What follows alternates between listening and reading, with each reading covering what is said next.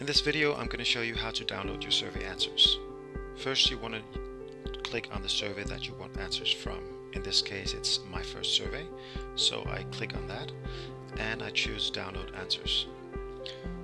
You can now choose between different periods. You can choose this week, which is the default setting, last week or the prior four weeks before now, year to date or everything.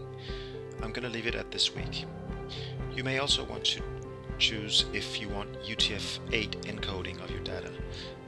The standard encoding is ANSI, which is very good for, for instance, Excel, but you can choose UTF-8 if you have special characters like Arabic, for instance, or certain European or, Asian um, characters.